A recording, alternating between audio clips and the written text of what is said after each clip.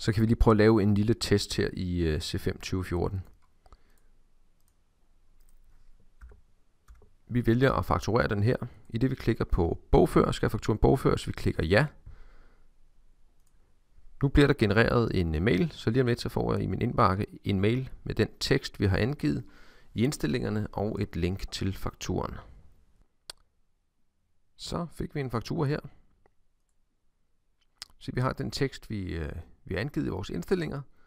Og så har vi både et link her og her til fakturen. Klikker vi på den, så åbner vores øh, faktura op. Og man kan så også vælge her at udskrive den eller gemme den ned lokalt på ens computer, hvis det er det, man vil have.